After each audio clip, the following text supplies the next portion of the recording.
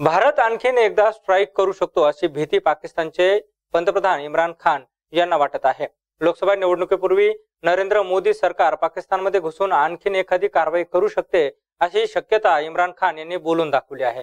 भारत पाकिस्तानवरती अजूनही युद्धाची छाया आहे कारण मोदी सरकार पाकिस्तानमध्ये घुसून आणखी एखादी कारवाई करू शकतं असं इम्रान खान यांनी म्हटलंय. धोका अजून संपलेला नाही. भारतातील लोकसभा निवडणुकीपर्यंत तणाव कायम राहील.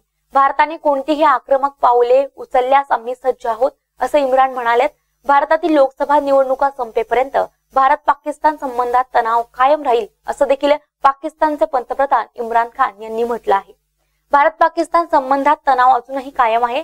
चौदा फेब्रुवारीला पाकिस्तान पुरस्कृत जैश ए मोहम्मद या दहशतवादी संघटनेने पुलवामा केलेल्या हल्ल्यात भारताचे चाळीसहून अधिक जवान शहीद झाले. त्यानंतर दोन्ही देशात तणाव निर्माण झाला. भारताने पाकिस्तानमधील बालकोटमध्ये जैशच्या तळावर एअर स्ट्राईक केल्यानंतर दुसऱ्या दिवशी सत्तावीस फेब्रुवारीला पाकिस्तानची फायटर विमाने भारतात घुसली होती. त्यावेळी भारताच्या फायटर विमानांनी त्यांना पेटावून लावलं. सत्तावीस फेब्रुवारीला दोन्ही देशांमधील तणाव सर्वोच्च पातळीला पोहोचला होता. त्यावेळी दोन्ही बाजूंनी परस्परांवर क्षेपणास्त्र हल्ल्याची तयारी केली होती.